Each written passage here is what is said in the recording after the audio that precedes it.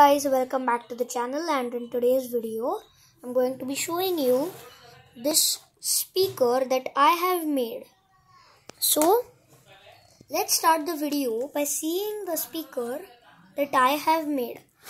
As you can see i have made this using very basic materials such as this tissue paper roll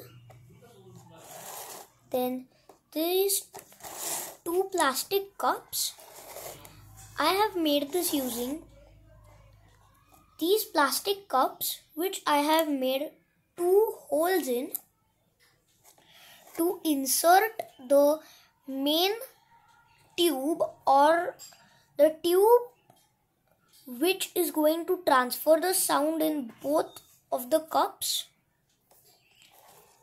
In the middle I have cut the small slit for the phone.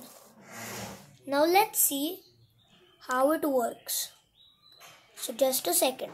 that I have Hey guys, so this is the basic volume of the phone and now we'll see in the speaker. Hey guys, so now I'm going to play the video in the speaker. have made. I made the, it using So as you can hear it is coming from this and this and it is coming more louder and clearly. So that is all for today's video. Hope you enjoyed it. and now let's see Thank you. Stay safe. Take care. Inside